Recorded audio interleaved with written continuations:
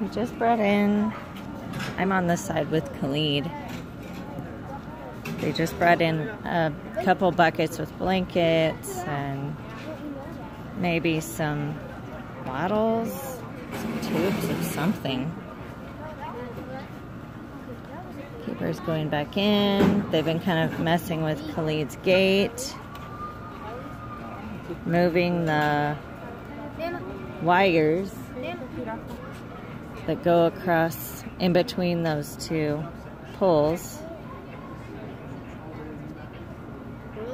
There's Diana.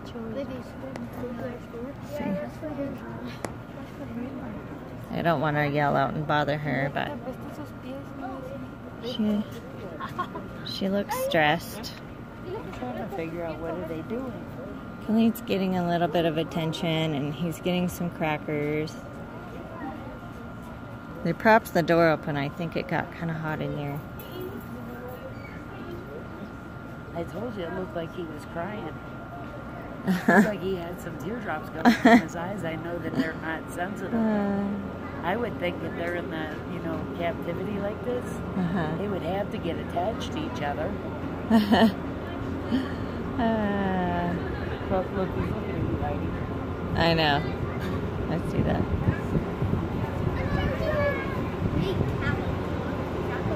So, what are they doing? What is, why are they bringing that? They're bringing sand in to the stall, maybe?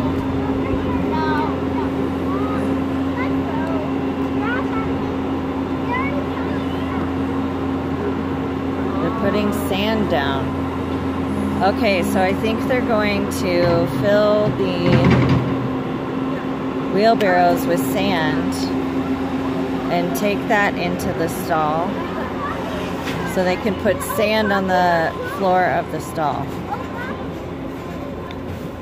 I think. So now they're loading up the buckets.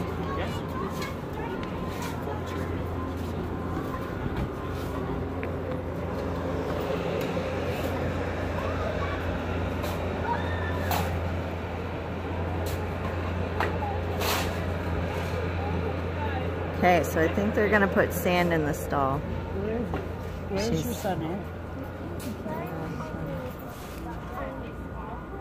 Oh, I see him. He's looking at the meerkat. I just got a little bit worried there.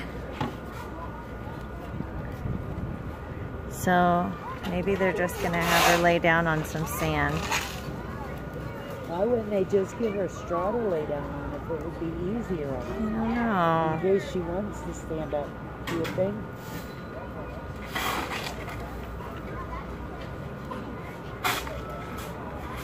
Khalid's asking for more crackers. So that's all we can see outside. They do have it closed off on the other side. He's trying to see in there to see what's going on.